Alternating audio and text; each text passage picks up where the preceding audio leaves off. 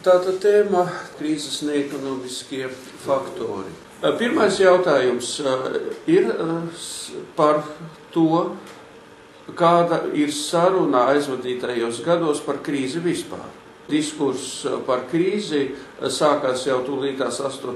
gadā, un tas jau no paša sākuma iegūta diezgan interesantu pavērsienu. Jau no paša sākuma šī saruna par krīzi faktiski pamatā koncentrējas ap humanitārā, sociālā rakstura problēmām. Šī saruna jau no paša sākuma risinājās tādā veidā, ka varēja skaidri noprast, ka aiz visa tā stāv daudz kas cits, tikai ne pati ekonomika un ne, ne pašas finanses šo nozaru tādā teorētiski metodoloģiskā aspektā. Par krīzi rakstīja, protams, daudzi rakstīja politiķi, rakstīja diplomāti, žurnālisti rakstīja, satīriķi rakstīja par krīzi, taču par krīzi principā klusēja paši finansisti. Finansisti par krīzi nerakstīja. Izteicās tikai tie finansisti, kuri jau bija pazīstami ar savu atklāto viedokli. Piemēram, par krīzi rakstīja Džordžs Soros, rakstīja arī Federālās rezerves sistēmas priekšsēdētājs profesors Bens Šaloms Bernanke, rakstīja Nobelprēmijas laureāts ekonomika 8. gadā un publicists profesors Pols, Pols Krugmans, Eiropas rekonstrukcijas un attīstības bankas bijušais direktors franču filozofs un ekonomists Žaks Atalī, rakstīja ievērojamais franču ekonomists Žaks Sapīrs, rakstīja un ļoti nozīmīgus darbus publicēja eh, Pasaules valūtas fonda bijušais galvenais ekonomists Simons Džonsons.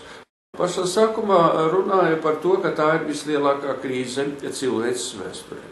Un pie tam krīze, kurai ir planetāri globāls raksturs, visaptverošs raksturs, ietiecoties gan finansēs, gan ekonomikā, politikā, sociālajos procesos, garīgās kultūras, ideoloģijas procesos, aptverot tātad faktiski visu kultūru tās sistēmas veselumā. Krīze ļoti parāda, cik lielā mērā pasaule ir globalizēta no finansu viedokļa. Jau pašā sākumā kļūst skaidrs, ka nevienu nevar vainot konkrēti atsevišķus cilvēkus nevar saukt pie atbildības, un vispār nav kam izvirzīt pārmetumus, kurus vainot. Pirmajā laikā, protams, kā parasti vainoja politiķus, ka viņi ir visu pie, teikt, noveduši līdz tādai robežai. Taču kļuva skaidrs, ka arī konkrēti politiķus nevar vainot. Un starp citu, tajā mākslinieckajā šedevrā Volstrītā arī ir runa par to, ka politiķus nevar vainot. Kļuva skaidrs, ka jebkurā gadījumā vainīgi nav konkrēti cilvēki, konkrētas institūcijas. Tas faktiski, ka nevar nevienu no finansistiem, no ekonomistiem un arī no politiķiem vainot. Ļoti lielā mērā uzreiz norādīja uz to, ka krīzei ir kaut kādi citi iemesli, nevis ekonomiskie finansu un finansu iemesli. Un norādīja tieši uz to, ka krīzes pamatā ir neekonomiskie faktori. Un kā krīzes sākums faktiski ir tādos uh, seg kultūras segmentos, kuri faktiski tieši ar ekonomiku nav saistīti. Tātad uh, kļuva skaidrs, ka krīzes uh, galvenie faktori principā ir meklējumi pašos cilvēkos, sabiedrībā kopumā. Ka sabiedrība kopumā faktiski ir nonākusi līdz kaut kādai kondīcijai, līdz kaut kādam stāvoklim, kas, kas pie tā ir novedis. Tūlīt kļuva skaidrs, ka krīze ir saistīta ar sociālām problēmām. Pirmkārt, ar patērēšanu. Krīzes jau pašā sākumā samazinājās patērēšana. Ja cilvēki pārtrauc pirkt preces, kuras principā viņiem nav vajadzīgas, tad faktiski sabiedrībā iestājas ļoti nepatīkams stāvoklis. Patērēšanas apsīkums parādīja, ka faktiski sabiedrība ir slima kaut kādā veidā, jo viņa patērē un visa ražošana ir iekārtota tā, ka viņa patērē, patērē, patērē faktiski bez jēgas, bez kaut kāda loģiska pamatojuma, bez reāls nepieciešamības. Un viss tas ir novedis pie tā, ka līdz ko beidzās šī bezjēdzīgā patērēšana, tūlīt iestājās bezdarbs un, un, un, un kā teikt, apsīkst naudas apgrozījums un tā tālāk un, un tam līdzīgi. Nu, no pasaules politiķiem Par krīzi arī nerunāja drosmīgi gandrīz neviens. Šajā sakarā, protams, ka viens no galvenajiem iemesliem, kādēļ rietumos nemīl Puķinu, ir saistīts arī ar to, ka viņš 2009. gadā, janvārī, Davosas fórumā skaidri un gaiši pateica, kas ir noticis. Un viņš ļoti nesaudzīgi un atklāti pateica, ka krīze ir pastāvošās finanses sistēmas izgāšanās finansu sfēras regulēšanas un kontrolas sliktās kvalitātes rezultāts. Nopietni traucējumi atklājās pasaules ekonomiskā eh, sistēmā, kur viens no centriem ASV nepārtraukti drukā naudu. Eh, tāpat krīze liecināja par mēra trūkumu, pārāk nereālajām cilvēku vēlmēm vispār, īpaši nesamierīgā apetīte, kā Puķins teica, bija korporācijām. Puķins principā runāja par to, ka krīzes eh, Iemesli ir neekonomiski iemesli, tie ir saistīti ar rietumu eh, sabiedrības eh, stāvokli, ar rietumu sabiedrības eh, nespēju racionāli domāt, kā tas ir pieņemts principā kapitālistiem. Tāpat tās Puķins runāja par ideālisma trūkumu, viņš runāja par labestības trūkumu biznesā, viņš runāja tāpat tās par savaldības nepieciešamību, godīguma nepieciešamību, taisnīguma nepieciešamību nepieciešamību. Tā ir faktiski vienīgā tāda politiķa runa no tā laika politiķiem un faktiski no vispār no tā laika politiķiem, kuri uh, spēja atklāti raksturot lietas būtību. Krīzes sakarā aktuāli kļuva uh, vairāki autori, uh, zinātnieki, uh, kuru vārdi līdz tam, protams, bija pazīstami, bet viņu, viņi nebija, kā teikt, tik pieprasīti aktuālo problēmu izskaidrojumos. Nu, pirmkārt un galvenokārt visi uzreiz analītiķi atcerējās Maksu Weberu. Atcerējās to, ko Webers vispār rakstīja par kapitālismu, rakstīja par kapitālisma racionālismu, par kapitālisma godīgumu. Krīzes sakarā atcerējās arī Friedriku Augustu von Hayeku, jo arī Hayeks mācīja, ka ekonomika un sabiedrība nav cilvēka dabas eh, un iekšējo pretrunu kopums un prasa um, no cilvēkiem, protams, arī milzīgu samērā izjūtu. Protams, kā atcerējās arī Džonu Meinandu Keinsu, jo uh, viņa, viņa pieeja uh, ekonomikai, uh, protams, uh, tagad liecina, ka bijusi, ir bijusi pareiza. Atcerējās arī slaveno amerikāņu ekonomistu, diplomātu Džonu Gelbe, Gelbreitu, jo arī Džons Gelbreits savā laikā visu savu, kā teikt, darbību veltīja tam, lai amerikāņus pieradinātu pie mērenības, pieradināti pie tā, ka valstī ir jāiejaucās finansu un vispār ekonomikas dzīvē. Atcerējās arī uh, vācu ekonomistu Šumpēteru, jo Šumpēters arī mācīja un, un savos darbos rakstīja, uh, ka kapitālisms agri vai vēlu var nonākt līdz kaut kādai globālai krīzei. Tāds būtu raksturojums kopumā visai sarunai, sarunai par krīzi. Šis raksturojums ir nepieciešams, lai saprastu, kādi tad konkrēti bija šie neekonomiskie faktori.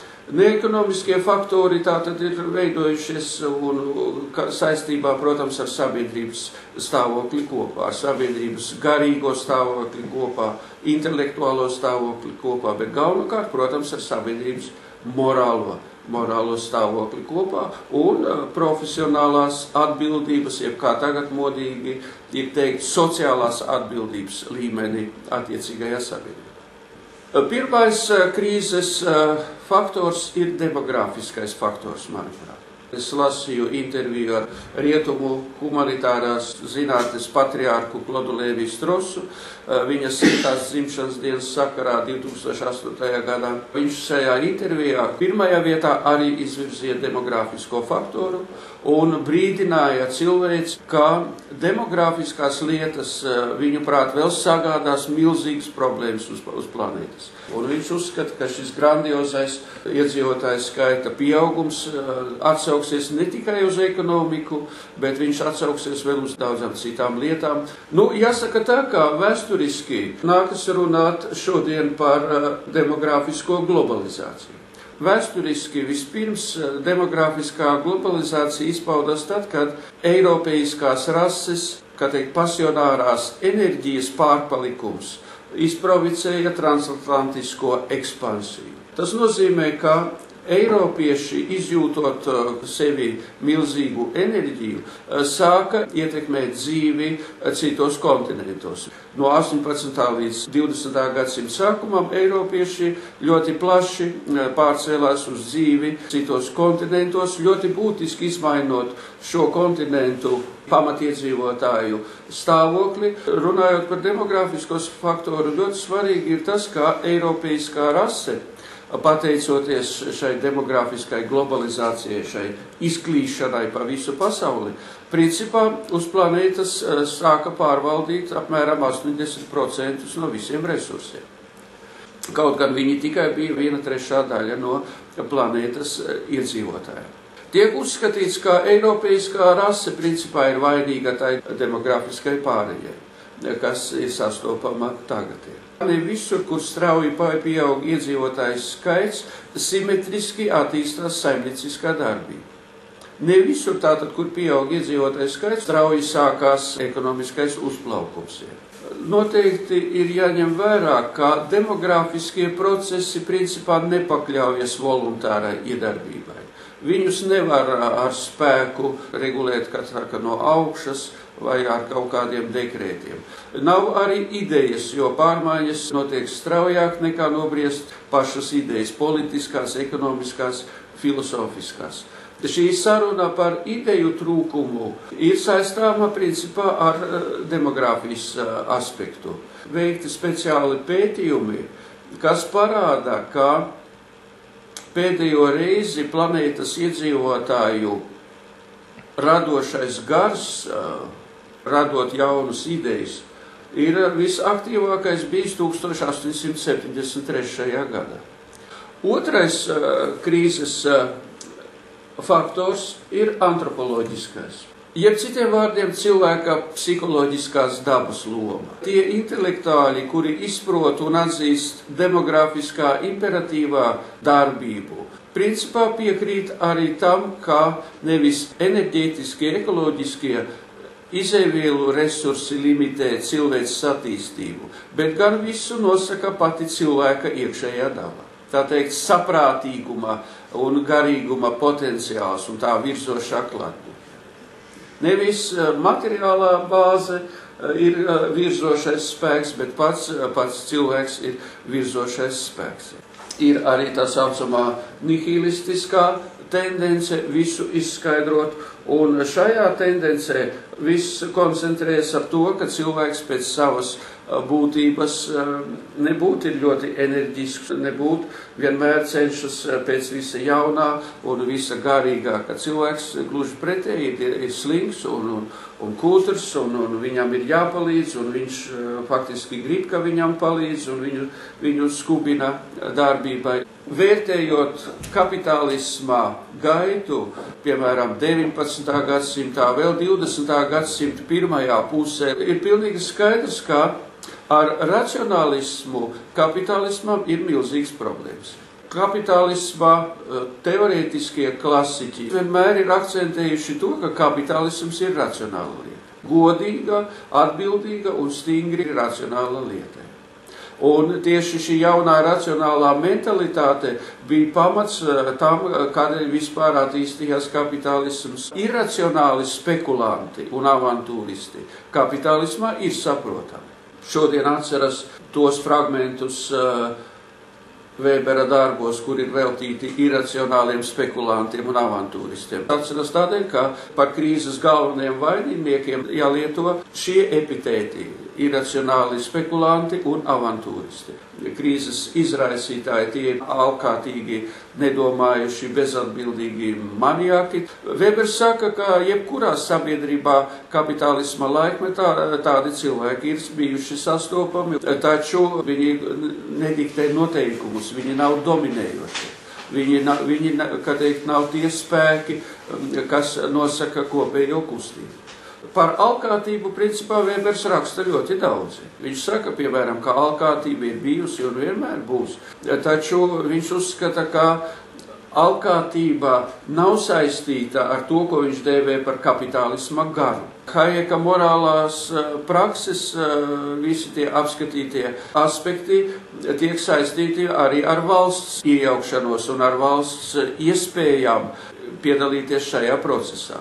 Un Haieks uzskatīja, ka ļoti svarīga loma ir, kā viņš rakstīja, valsts tā saucamai paplašinātai kārtībai kad valsts principā nodarbojas ar cilvēku audzināšanu un izglītošanu, kas atsaucas agri vai vēlu arī uz ekonomisko darbību. Ļoti labi ir zināms, ka pagrimuma periodi cilvēces vēsturē parasti iesākušies tad, kad cilvēki ir zaudējuši mēra sajūtu. Garīgā pagrimumā pirmās pazīmes ir saindēšanās ar, saka, ar maldīgām domām, ar maldīgām ilūzijām un arī tieksme uz komfortu. Garīgā pagrimumā stāvoklis principā ir nabadzīgas dvēseles, nabadzīga gara stāvoklis. Tas ir laiks, kad cilvēki pārstāja reaģēt uz racionālo, pārstāja reaģēt uz veselo saprātu. Garīgā pagrimuma laikā principā nav vajadzīgi arī gudri un talantīgi cilvēki jo viņi tikai traucē garīgā pagribuma laikā, principā ideālisti nav vajadzīgi. Kapitālismā eh, ļoti daudz ko nosaka tā saucamie nerakstītie likumi. Nerakstītie likumi attiecas uz morālo sfēru un uz profesionālo sfēru. Kad studēju universitātē, ekonomikas profesors stāstīja, tas bija 70. gados, ka Japāņi visu savu teikt, attīstību un visu savu biznesu veids, balstoties uz savstarpēju norunu, bez kaut kādiem dokumentiem, bez kaut kādiem līgumiem, bez kaut kādiem papīriem. Trešais faktors ir ideoloģiskās identitātes faktors. Viens no krīzes uh, galvenajiem iegānstiem ir mūsdienu kapitālisma attieksme pret ideoloģiju kopumā. Un varētu teikt tā mūsdienu kapitālisma ideoloģiskā identitāte. Nu, par ideoloģisko identitāti es vēlos dēvēt to ideju un uzskatu sistēmu, jeb citiem vārdiem sakot, ideoloģiju šī jēdziena tradicionālajā izpratnē, kad ideoloģija ir viens no varas instrumentiem, kad ideoloģija ir strateģiska darbība, ideoloģija ir politisko zināšanu un priekšstatu novirzīšana uz masām, uz cilvēkiem. Šajā ziņā, manuprāt, rietumos ir milzīgs problēmas jebkura sociāla ekonomiskā formācija balstās uz noteiktu ideoloģiju. Un uh, ideoloģija kā tāda, uh, saprotams, ka ir arī mūsdienu kapitālismam. 20. gadsimtā, pēc otrā pasaules kara īpaši, rietumos pret ideoloģiju sāka izturēties ļoti skeptiski. Skeptiski un runāja par ideoloģijas nāvu, ideoloģijas norietu, par ideoloģijas nevajadzību. Šodien var droši teikt, ka tā ir cīniska manipulācija.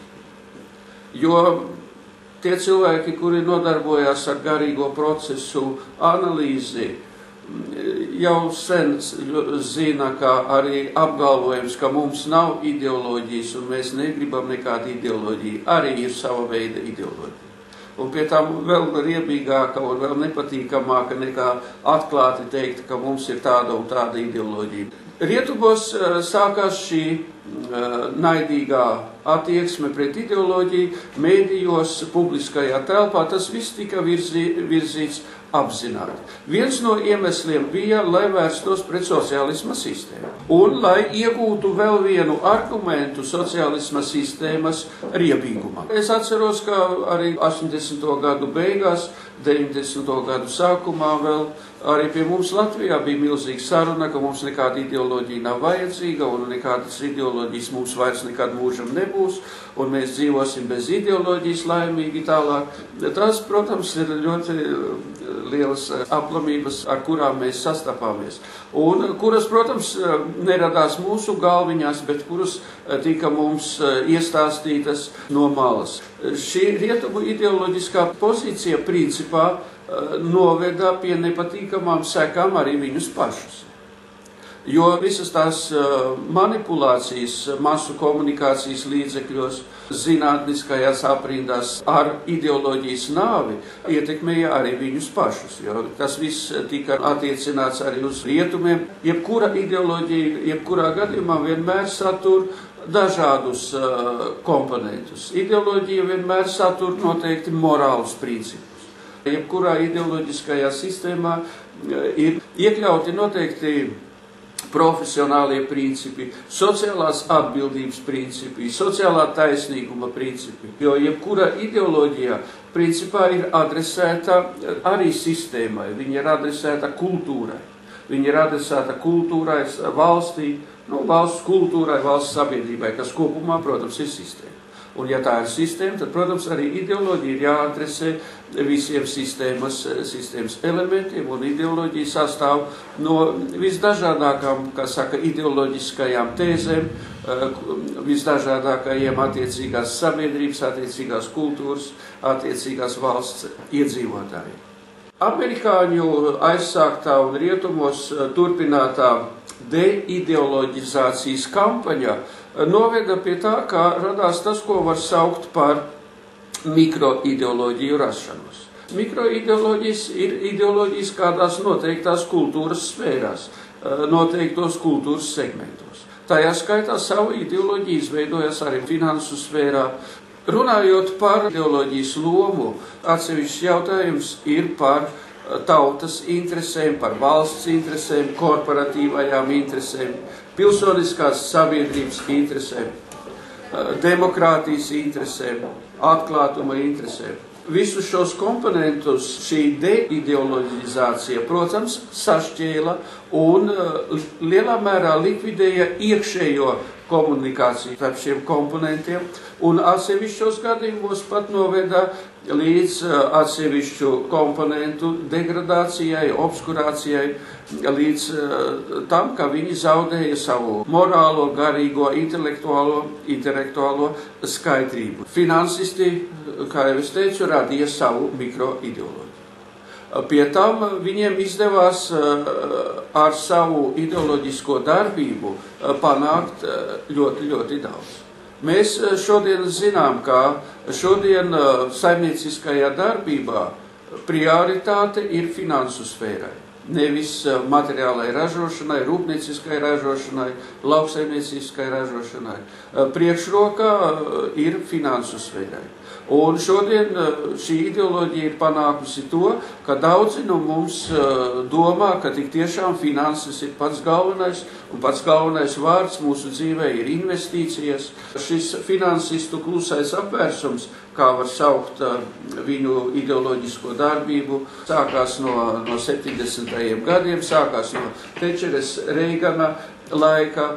Tie ir divi valsts vīri kuru darbība, protams, ar krīzi un, un ar krīzes rašanos ir ļoti cieši saistīta. Viņu darbības rezultātā finansisti ieguva iespēju attīstīt savu mikroideoloģiju. Runājot par krīzes veicināto jauno mikroideoloģiju, pirmajā vietā ir jārunā par valsts lomas atjaunošanu. Finansu krīze nāca par labu valsts suverenitātei, vispār valsts institūtam kā tādam. Atsevišķs jautājums ir par politisko varu vispār. Nu, par šīm lietām ļoti plaši raksta uh, Saimons Džonsons. Uh, valūtas fonda bijušais darbinieks. Valūtas fonds aizdeva naudu Āfrikas valstīm, citām valstīm, un uh, Saimons Džonsons diezgan atklāti raksta uh, par to, kā tie vadītāji uzvedās un, un kā ar viņiem ir jārunā, ko viņi grib un kā vispār notiek šī naudas dalīšana un, un aizdošana, visu to korupcijas un, un alkātības, sautīguma. Sarunu Saimons Džonsons eh, savos darbos atspoguļo ļoti, ļoti drosmīgi par kapitālisma identitāti. Šeit saruna ir dažāda. Sarunā piedalās cilvēki, eh, kuri eh, prognozē kapitālisma krahu. Ir cilvēki, kuri prognozē kapitālisma būtisku saplūšanu, saplūšanu ar sociālisma principiem. Viens ir skaidrs, ka ar kapitālismu kaut kas nav labi. Tajā pašā laikā ir skaidrs, ka ar pašiem kapitālisma laikmeta cilvēkiem kaut kas nav labi. Tālāk pat ņem Kārli Marksu kapitālu, kapitālu, ja nemaldos, arī Latvijā nesen pārpublicēja. Kapitāls atkal ir ļoti, ļoti lasīts, lasīts darbs šodien. Balto cilvēku stāvoklis izraisa ļoti lielu satraukumu izēja no krīzes arī ir apnikusi. Šī tēma var just pēdējā laikā visiem ir apnikusi, jo nav izējas. Neviens nevar izvirzīt nekādus konkrētus priekšlikumus. Amerikāņi nepārtraukti drukā naudu un faktiski visu pasauli tur savā atkarībā, jo Tā iznāk, ka visa pasaulē uztur amerikāņus šodien un uztur dolāru un vispār amerikāņu visu dzīvi uztur. Reālākais priekšlikums ir karš. Es zinu no šīm pašām vēstures grāmatām, ka saruna par karu jau iesākās saulaicīgi. Cilvēki gaidīja, ka būs karš jau labu laiku iepriekš, drosmīgi par to runāja, ka vis, visa mūsu dzīve virzās uz karu. Nu, diemžēl tā ir arī šodien cilvēki grib atrast izēju un saprot, ka izēja ir nepieciešama gan tai alkātībai, gan tām patērēšanas ārprātām, gan visiem tiem ziepju burbuļiem un, un amerikāņu dolāra, eh, kā teikt, štancēšanai nepārtrauktai. Visiem ir skaidrs, ka tas labi nebeigsies un ka tam kaut kā noteikti ir jābeidzās. Visi grib to iepēc iespējas ātrāk redzēt beigu stadijā, kad ir faktiski pielikts punkts, un cilvēki neko citu nevar izdomāt, kā sevi mierināt, mierināt ar kāru. Paldies!